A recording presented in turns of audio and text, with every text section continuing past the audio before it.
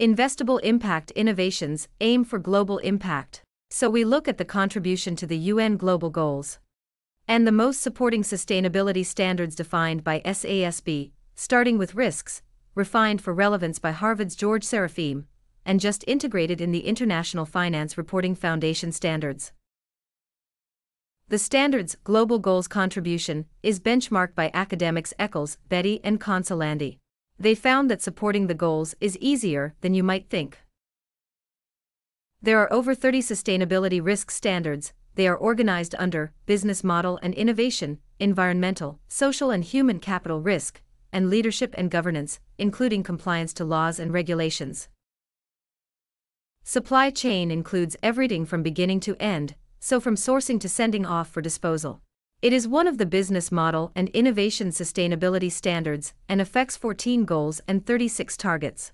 It is most relevant for Goal 7 access to energy, renewable energy, and energy efficiency. Product design and life cycle, starting with your investable impact innovation idea to end of life waste. It affects 11 of the global goals and 27 targets. Again, Goal 7's targets and Goal 15 life on land. Access, availability, and affordability affects 9 goals and 18 targets.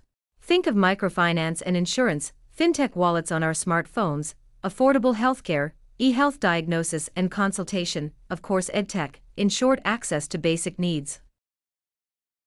You can also tweak for individual goals, such as responsible consumption and production supported by 15 sustainability standards, most for our environment, then leadership and governance and business models and innovation.